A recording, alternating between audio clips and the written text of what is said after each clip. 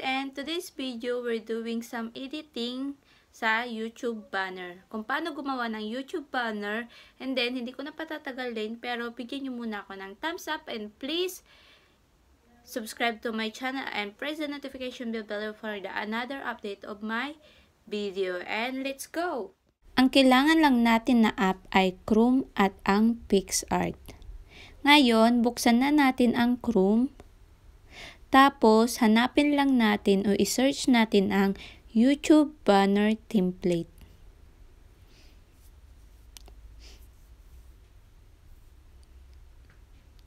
Maramang pagpipilian sa YouTube banner template. Depende na sa inyo kung ano yung susundin yung template. Yan, pili lang kayo. Kahit ano yan, maraming pagpipilian na template.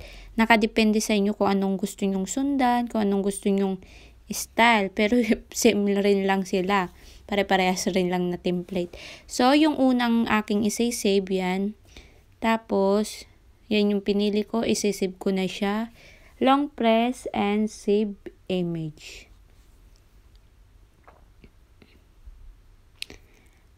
And then, pagkatapos niyan, ang iso-search naman natin ay background template or plain background para sa ating banner mamaya. Depende din sa inyo kung anong gusto nyo. Depende sa inyo kasi sa inyong YouTube channel naman yan. Pili lang kayo ng mga background na gusto nyo. Ako, ang pipiliin ko is yung kulay yellow. Dali, hanapin ko lang kung may yellow. Basta maraming pagpipilian dyan. Bahala na kayo kung anong gusto nyo. So, ayan sa yellow. And then, long press. And then, save image. Ngayon, pupunta na tayo sa my PixArt. Buksan lang natin ang PixArt. Pagkatapos niyan, punta lang tayo sa plus sa baba. At punta tayo sa color background sa pinakababa. Marami din kulay na pwede pagpilian dyan. Depende sa inyo kung anong kulay gusto nyo. Kukunin ko yung pink.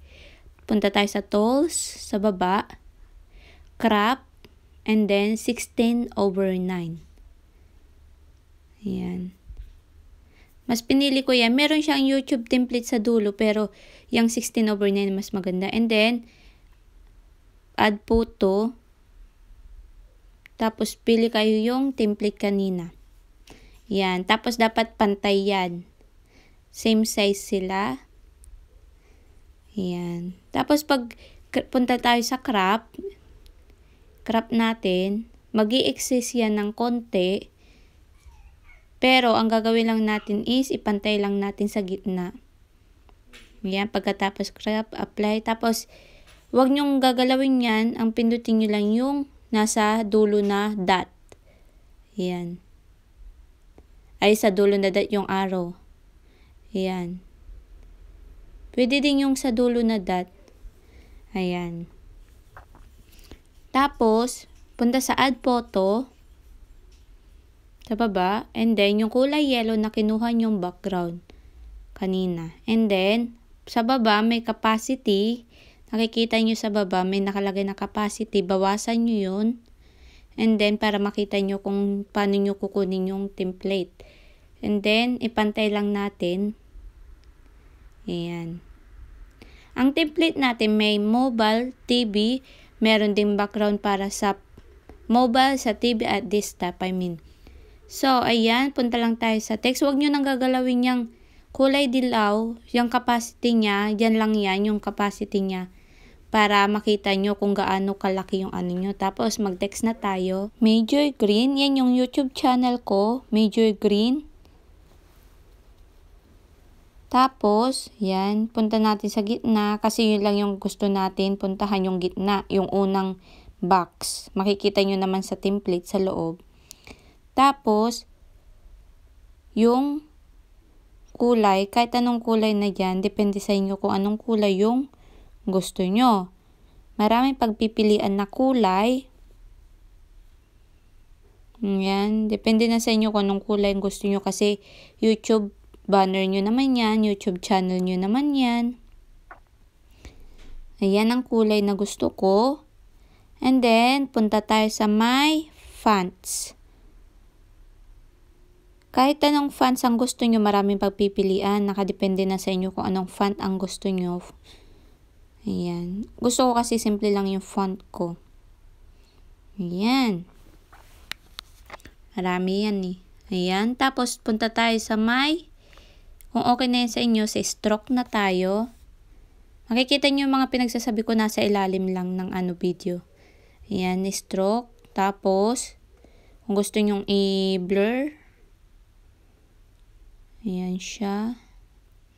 Tapos, kung okay na yan, mag-search na tayo sa sticker. Sa baba, nakalagay sticker and search Facebook logo. Yan, search nyo lang. Pagkatapos nyan is Facebook logo. Ayan. Ayan, marami kayong pagpipilian na logo. Sandali, logo. Ayan, marami kayong pagpipilian na logo sa Facebook. So, kahit ano dyan, depende sa inyo kung anong gusto nyo. So, yan sa akin, yung maliit na may mirror. Then, punta ko siya sa baba. Tapos, sulat ko yung aking Facebook page, MJ Life Crafts. Papalitan ko na to next time kasi, ano, magiging medyo green na rin. And then, yan. Pwede din kayo maglagay ng travel, fashion, ano pa ba yung mga, kahit anong ano nyo, kasi kung ano yung niche nyo. Ayan. Nasa inyo na, kung ano yung niche nyo, yun din yung ano nyo. Pwede nyo ilagay sa gitna. Ayan siya. Color, black. Kasi yellow yung ano ko, yung background, so color black. Makikita agad siya. Tapos, Instagram logo. Punta ulit kayo sa stickers tapos Instagram logo. Yan. Depende na sa inyo kung anong logo ang gusto nyo. Sabi ko nga, YouTube nyo yan, kayo ang magdi-design. Bali, pinapakita ko lang kung ano yung pwede nating magawa. And then, ayan, Yusin lang natin. Siya. Medyo itaas nyo konti. Huwag nyo naman ilalagay sa mismong ano, line. Yung name ng inyong Instagram. Huwag nyo naman ilalagay sa may line ng pinakababa. Lagyan nyo din naman ng pinaka-space konti sa pinaka, yung line natin sa template. Kung kuha nyo ibig kong sabihin. Yan medyo green ang aking Instagram. Pwede nyo rin po ako i-follow dyan. And that's it.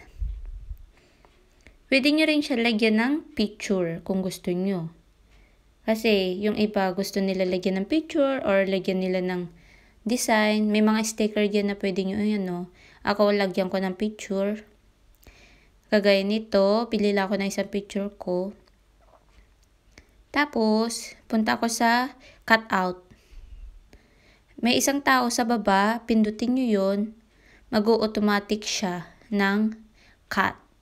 Pero depende sa picture nyo ha. Hindi lahat nagiging cut ng perfect like this. So, ayan siya. Tapos, pwede ako pupunta sa border. May border sa ilalim na pagpipilian. Tapos, maglagay ako ng border. Ayan auto border siya ng inyong picture. Ayusin ko muna. Tapos border. Ayan.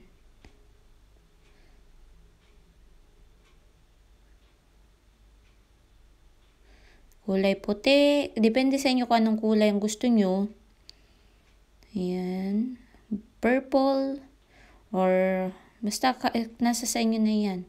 Ayusin nyo, itas nyo rin kunti para hindi naman sagad na sagad sa yung design. Ayan. At makita talaga sa inyong ano, banner. Yan siya. Ayan. Yusin ko lang palakihin ko kunti para makita siya. Tapos, i-move-move ko lang siya. Papa, ibaba ko muna, designan ko din to. Iikot ko, palitan ko ng kulay. Siguro kulay black. Kasi yellow yung background ko. Black. Tapos, ikot ko siya, rotate ko siya. Konti. I think, mas maganda ata patayo. Oo. I-rotate ko lang. Ayan. Ayan. Ayan. Perfect na. Tapos, okay na siya. Ngayon, punta na tayo sa mic background natin. Yung kanina yung kulay yellow. Punta tayo sa my capacity. Lakihan na natin capacity. Nakikita nyo may space siya sa gilid-gilid. Yan yung TV at saka desktop. Pero hindi ko na dinesignin kasi usually naman sa mobile desktop naman, ay mobile naman sila nakaano eh, nakatingin. Ayan. Sa inyo, nasa sa inyo na, sabi nyo na, nasa sa inyo na kung ano yung gusto nyo design. More, and then save photo. And then, punta na tayo sa my room. And, dun sa inyong YouTube banner. Ngayon, punta tayo, gawin natin desktop site. And then, click lang natin yung YouTube banner natin na dati. And then, select lang sa computer sa gitna. Pili lang kayo yung ginawa nyo kanina. Ayan, piliin natin yung kanina na pink. And then, ayan na siya. Dali, ayaw pa. Ayan, tadan. So, pag yan, desktop, yan yung sinasabi ko kanina, pag desktop siya, ganyan. TV, kasi malaki yung TV at saka desktop. Pag mobile, ganyan lang siya, sakto siya. So, yun yung sinasabi ko kanina na iba't iba. Tapos, ayun na siya. Ibaba ko lang konti. Asa na ba yun? Oops, saan ka na? O, oh, yan. Tadan, yan na siya. So, sa desktop. Pag pumunta tayo sa mobile, andali, ayan, yan na yung mobile natin. Tadan, sandali punta tayo sa may aking channel, your channel. And, tadan, di ba sakto lang siya. Kasi iba-iba yung size ng mobile at saka ano. So, I hope nag-enjoy kayo and may natutunan kayo sa aking tutorial and please subscribe to my channel and press the notification bell below. Salamat po sa panonood and thank you so much and see you sa aking panibagong video and bye-bye!